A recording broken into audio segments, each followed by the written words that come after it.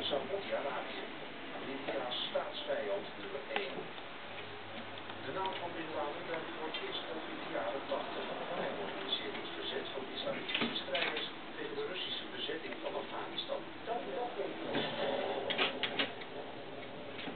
Als de Russen in 1989 uit Afghanistan zijn verdreven, richt Bin Laden zijn pijlen op het al even godloze Westen.